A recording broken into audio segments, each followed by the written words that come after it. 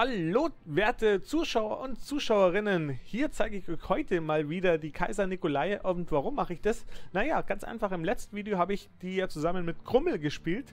Und ich dachte mir, jetzt ist sie ja wirklich final im Spiel draußen. Und dementsprechend auf jeden Fall nochmal ein Blick wert. Und hier eben jetzt alleine ganz gemütlich.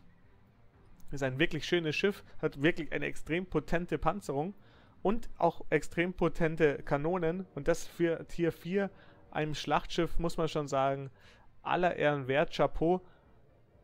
Ich will auch gar nicht zu lang hier auf das Ding eingehen, weil es ist schon sehr, sehr, sehr nice. Also ich, mich würde mal interessieren, diejenigen unter euch, die das Ding schon haben, wie ist eure Meinung dazu? Ich habe schon von den ersten Robbenklopper gelesen, die sich darauf spezialisiert haben. So extrem finde ich sie nicht, aber trotzdem ist sie sehr gut. Nun genug. Wir schauen uns die Kaiser Nikolai 1 direkt im Game an. Action Stations, los geht's. Und wie ihr seht, wir sind hier Low Tier und ich muss sagen, das passiert mir mit der Nikolai sehr häufig, dass ich mit der Vierer in ein Sechser-Gefecht komme, was per se gar nicht schlimm ist, weil sie hat gut Durchschlag. Probleme, und das ist das Riesenthema, die Reichweite. Die Nikolai kommt nämlich nur 14 Kilometer weit und wenn man in ein Sechser-Gefecht kommt, dann kommt halt jeder, jeder Gegner weiter als die Nikolai. Und dann auch noch wie hier zwei Flugzeugträger. Macht es auch nicht unbedingt besser. Ich habe es jetzt auch schon oft erlebt, dass man mit der Nikolai aufgrund der geringen Geschwindigkeit von 21 Knoten wirklich dem Gefecht lange hinterherfahrt, falsche Entscheidung getroffen und dann war es das. Das heißt, es passieren in der Regel zwei Sachen. Entweder ihr fahrt zu lange her und macht keinen Schaden oder ihr seid zu aggressiv und dementsprechend auch schnell aus der Runde raus. Also es ist ein schwieriges Zwischending, gerade in einem Low-Tier-Gefecht oder wenn ihr Low-Tier seid. Alles andere ist dann sonst cool. Sehr schöne, genaue Kanonen, 35 Sekunden, 36 Sekunden Reload, das geht aber auch. Der, die langsame Turmdrehgeschwindigkeit, die kann man auch kompensieren, indem man einfach ein bisschen ja, vordenkt, sag ich mal. Aber ja, das Hauptthema ist einfach die Reichweite.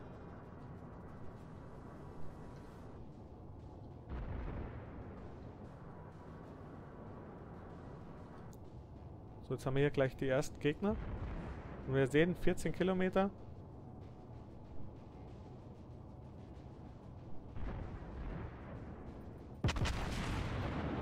Sie schießen dann.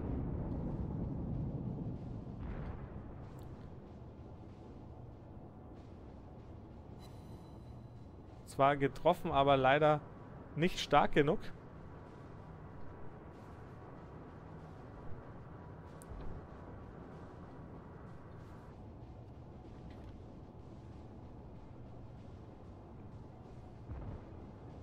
Sieben Komma sieben Sekunden auf die Distanz ist okay. Damit kann man arbeiten.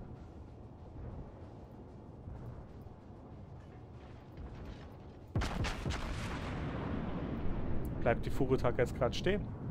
Oh nee, habe ich jetzt nicht beachtet, dass die so langsam geworden ist, um ehrlich zu sein.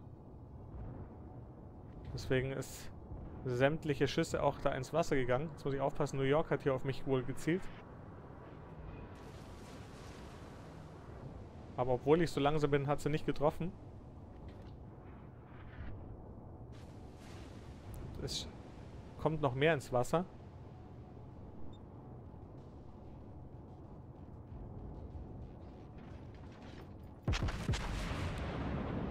So, jetzt die nächsten Schüsse. Aber die Furutaka, die hat ein perfektes Timing, wenn es darum geht, langsamer zu werden. Auch jetzt wieder. Langsamer geworden, jetzt beschleunigt sie wieder. Also muss man sagen, ist Glück. Und jetzt passiert das, was der Nachteil ist, eben die langsame Turmdrehgeschwindigkeit, weil ich jetzt aufgrund des Kartenrandes nicht wirklich vorplanen konnte, mich da zu verändern. Man sieht auch, ich habe hier auch kaum mehr Leute von meinem Team. Dann noch die Kongo und dann war es das schon. Alles andere ist Gegner.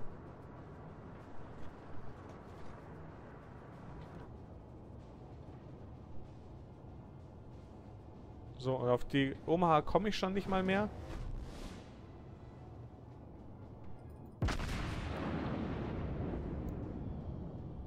Auf die zweite gerade so. Aber Wasser.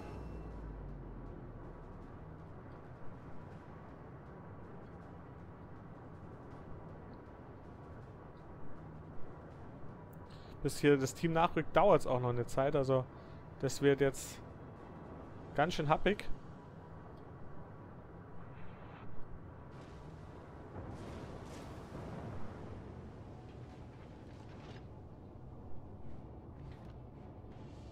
da Minekase eigentlich normalerweise nicht unser Ziel, auch gerade nicht mit AP. Aber bevor sie jetzt uns zu nahe kommt, muss ich mich da jetzt auch mit drum kümmern.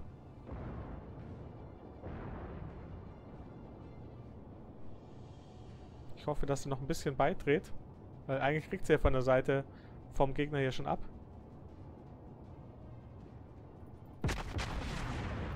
Na, jetzt hoffen wir mal, dass es gereicht hat. Ja, 3000 Schaden. Viel braucht sie nicht mehr.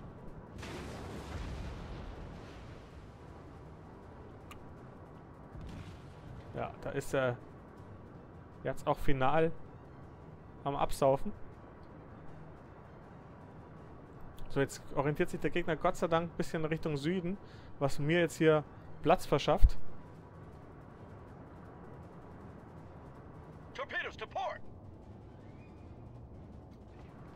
Und jetzt will ich hier an den Torpedos so vorbeifahren, dass sie mich auch gleich definitiv nicht stören, aber das tun sie auch nicht.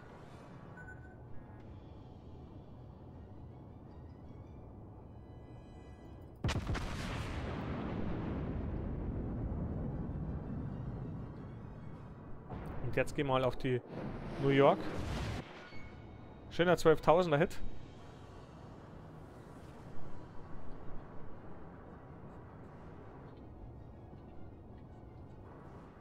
Jetzt funke ich mal meinem Team, dass ich gerne Support auf die haben wollen würde.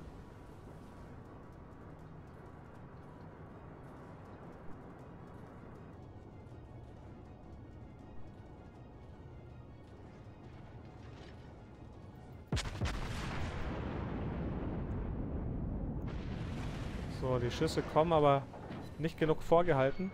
Dementsprechend auch ein bisschen wenig Schaden. Aber alles gut. Mein Team ist schon wieder am Wegfahren. Nachdem ich gehofft hatte und gedacht hatte, dass sie jetzt hier ordentlich mithelfen. Aber denkst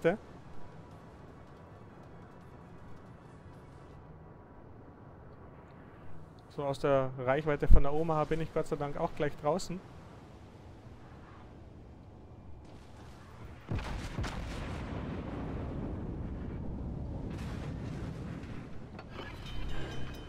So, da habe ich doch den ersten Ausfall verursachen können.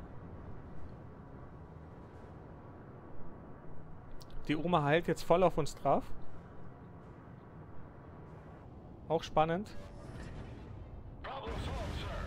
So, jetzt stehe ich das nächste Mal in Flammen. Dieses Mal kann ich nicht mehr reparieren.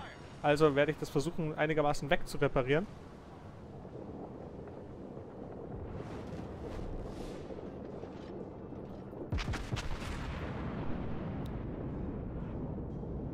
So, und diesmal revanchiere ich mich jetzt aber. Mit einer 5000er. Weil irgendwann langt es jetzt auch mal.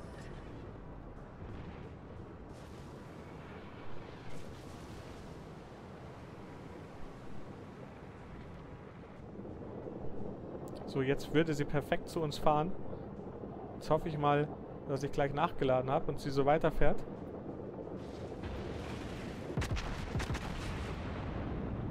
So, schau mal, ob das klappt. Wie ich mir das vorstelle. Ja, genau so.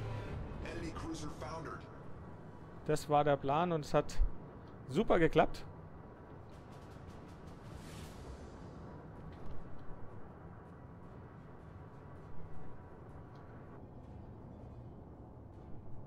So, und dementsprechend jetzt weiterhin dann auf die New York.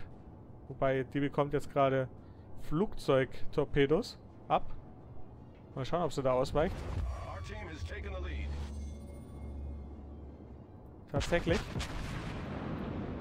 Ja, dann können wir doch jetzt nochmal wieder drauf schießen. Ein Treffer. Mager. Aber nun hat sie da deutlich nochmal mehr Damage bekommen.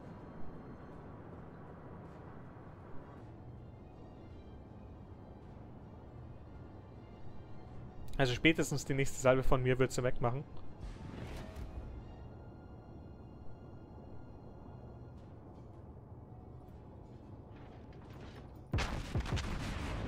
Schau mal, ob meine ich meinen Worten Taten folgen lassen kann. Ja, nee, doch nicht gut genug geschossen leider. Wirklich schlecht geschossen. Naja, da macht es halt in New Mexico und ich kümmere mich hier um die Phoenix.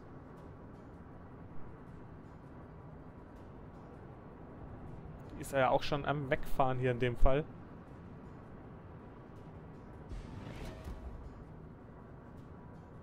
Dementsprechend auch wir drehen uns wieder ein bisschen rein, dass wir hier besser mit den Kanonen wirken können.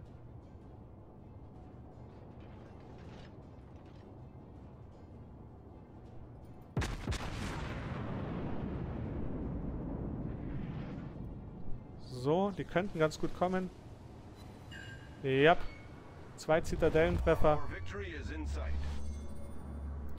Da hat sie nicht mehr wirklich viel HP.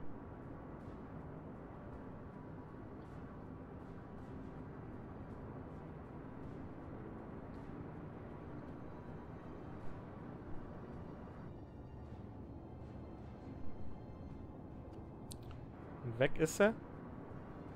So, jetzt würde nur noch die Kongo da vorne fehlen. Ich finde, der Gegner, dafür, dass er noch drei Schlachtschiffe hat, spielt hier sehr passiv.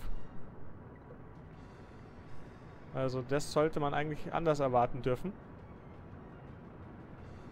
Ich weiß auch nicht, wo die, wo die sein sollen.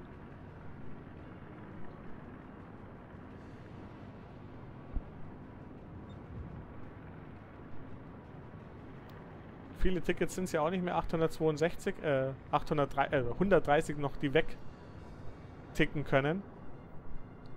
Also wie gesagt, sehr kurios, dass der Gegner da so reduziert spielt. Ah ne, Entschuldigung, ich habe übrigens vorher falsch geschaut mit den Schlachtschiffen. Die haben ja nur noch die zwei Flugzeugträger und den einen, die eine Kongo. It's my bad. Also ob ich da noch was abbekomme, wage ich zu bezweifeln. Der eine Flugzeugträger da auf J10.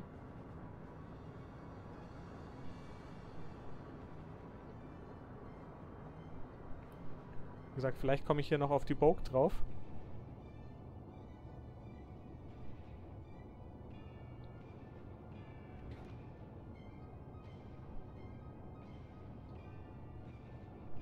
Noch 400 Meter, dann kann ich endlich drauf schießen.